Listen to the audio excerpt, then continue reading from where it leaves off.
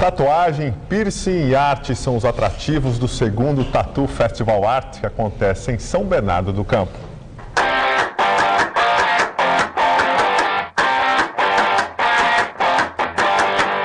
O desenho ganha cor através do tebori, técnica milenar japonesa que deu origem à tatuagem como é conhecida hoje. O bambu é o instrumento principal que dá a direção ao trabalho. Na ponta, 23 microagulhas descartáveis introduzem a tinta na pele. Em comparação com a máquina, o tebori dói muito menos. Menos dor e mais tempo. O que levaria 20 minutos com a máquina tradicional, aqui leva uma hora e meia. Eu morei no Japão 20 anos, aí adquiri essa técnica lá. Aí eu entrei para uma família de tatuador mesmo e o objetivo é sempre manter a arte milenar ainda.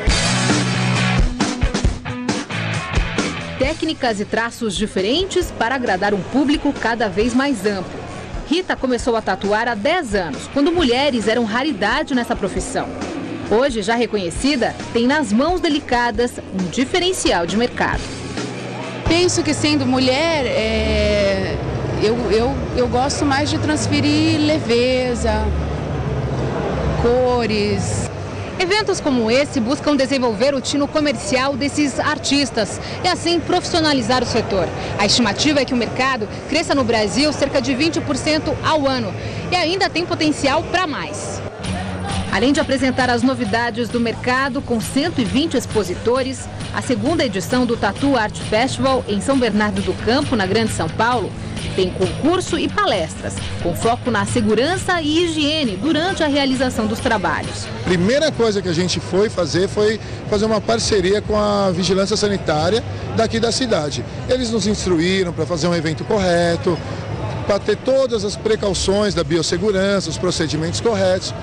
Inclusive a palestra é sobre isso, né? E claro, aqui também tem muita gente fazendo tatuagem. Dói ou não dói? Dói, mas é, é aceitável, não dor. E tatuagem é puro sentimento, imagens com significados muito particulares. O que, que você está fazendo? É a Dercy, Dercy Gonçalves. O quê? Ah, ícone, né? Eu não sei. Uma pessoa agora criticada por muitos, mas que eu acho muito interessante. E quem faz uma dificilmente para por aí. Vicia. Fez a primeira, aí é um vício assim, é frenético. Você nem acabou de fazer a primeira, você já quer ir para a segunda, é viciante. Uma dessas custa a partir de mil reais. A técnica é deste tatuador peruano que se especializou em figuras com relevo, que parecem ter sido coladas na pele. O que as pessoas gostam de tatuar? Bichinho? É, mais coisas sentimentais, o pai, a mãe, o bichinho, essas coisas, né?